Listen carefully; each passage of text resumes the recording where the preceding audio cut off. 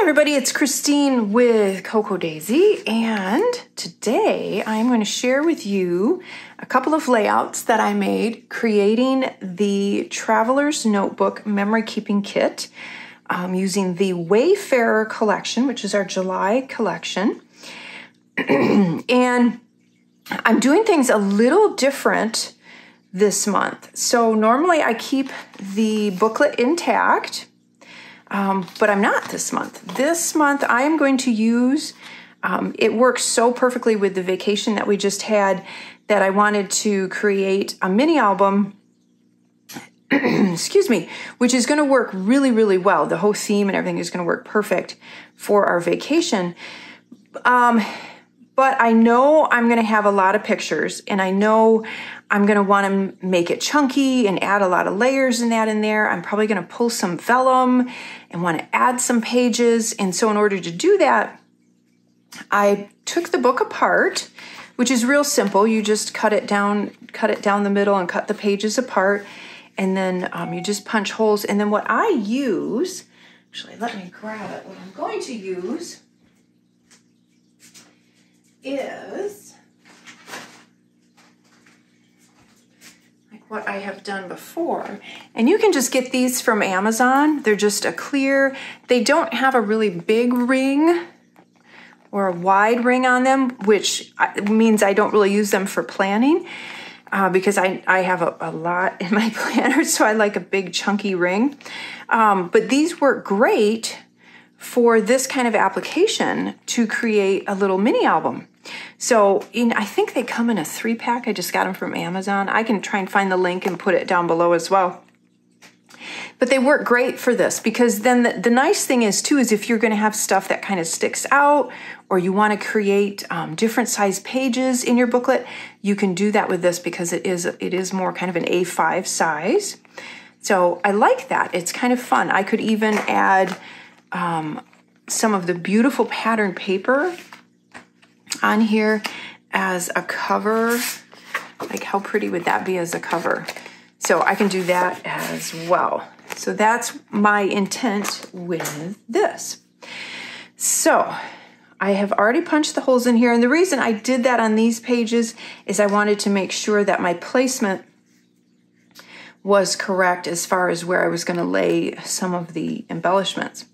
So what I did is I used a page that had this compass pattern paper.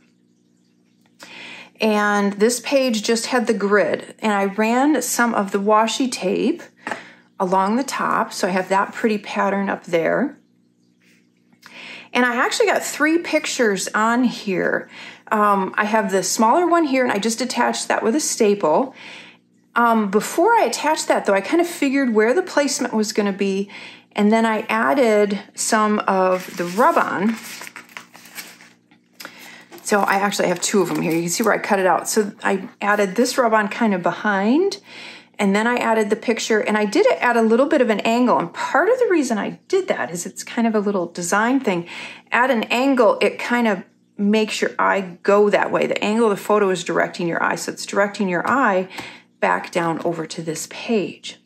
And then I layered in the kit, you get these beautiful foil, um, gold foil on vellum little embellishments.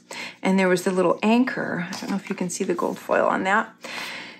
I ran one of the cute quotes, and these are so fun. And you get a ton of them.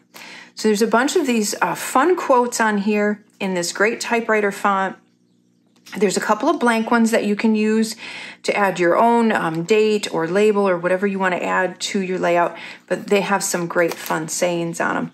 And um, so I layered that one here with the little anchor and I added a little bit of foam on that just to kind of raise it up. And then on this side, I added two photographs. I kind of tucked this one under this one and then added one of the larger little quote cards. And then I used the great stamping set and we're continuing on with this theme um, with the with the grid and it's a different grid from June. So just to, to be clear, we don't want to repeat and give you the same grid every time. So that way you can mix and match everything. Um, and then it has all these great elements. Now I will say, make sure you check out my stamping video. for July, and I give you some fun ideas on how to use this stamp set and how to layer it as well. But you can see what I did here, how I used it. I added the little anchor and I added one of the little tick boxes. And then I, I typed in and added, that's the other, let me stop for a minute. That's the other advantage to taking the booklet apart is you can actually run these pages through your printer. And so you can add your type directly to the page. And that's what I did here. I added my title and then I added my, um, my journaling. This little bit here, the nothing but blue skies, is actually from the rub-on sheet. So I that fit in there just perfect. So I added that little bit of rub-on. So that was really fun. And then I added another little rub-on here. And then that's the whole page. I mean, it was not super simple. I have three photographs on there and it's not cluttered at all. And I, I added this at the end I just wanted a little bit more color on here and I wanted to kind of frame this picture a little bit by adding that little bit of color um, that matches the washi tape there. So that's why I added that little bit kind of at the end there. I decided I wanted wanted that on there. So that is the first layout. I'll show you the next one. This one was super simple. Super, super, super easy. So I did a full, I printed out a photograph that is the full, uh, the full page. And then I used, and I adore these. I use them all the time, especially in my um, my daisy planner as well. They are stickers. They have adhesive on the back, so they're super simple to use. So these alpha stickers, I just ran up the side of um, of the photograph.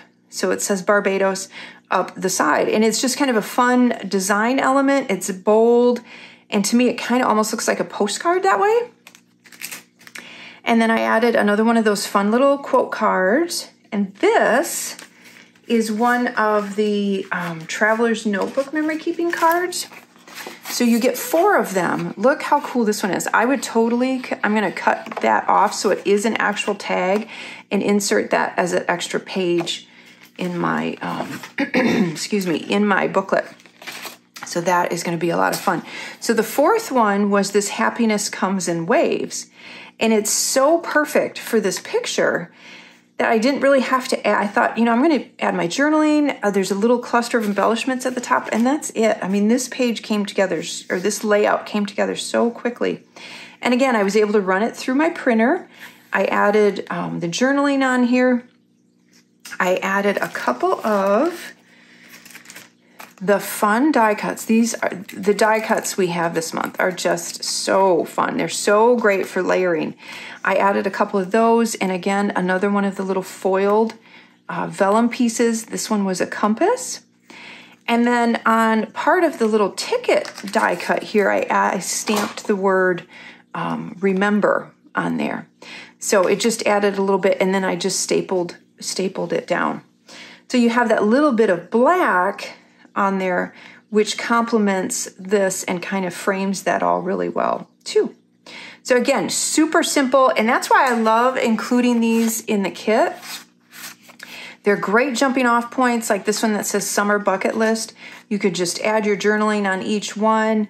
And then on this side, you could add, you know, like let's say you've you've done one or two of them you could add the pictures for it. Or you could add small pictures at the end of the summer for everyone that you did do, which would be really, really cool.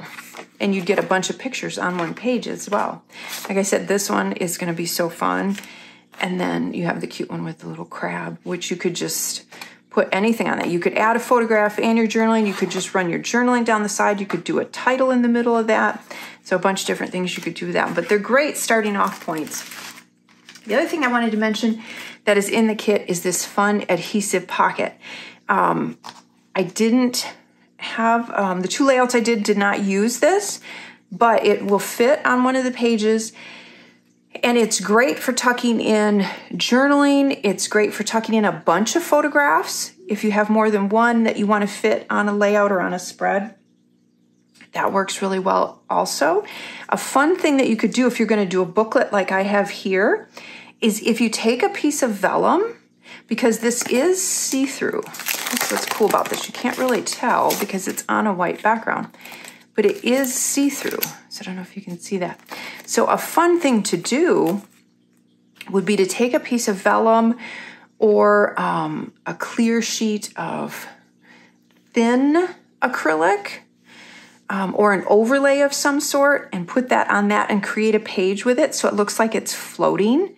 And then you can create a layer um, over your other page. So like let's for, for instance, if you had um, if you had a full page photograph like this, you could then either use a piece of vellum or an overlay, put this on it and attach it and it would look like it was floating over that picture. And then you could add either journaling so you can see it would you could add journaling or more pictures. It would be a really really neat effect. So that would be a fun way to use now that I think of that I'm going to do that. It would be a fun way to use that as well.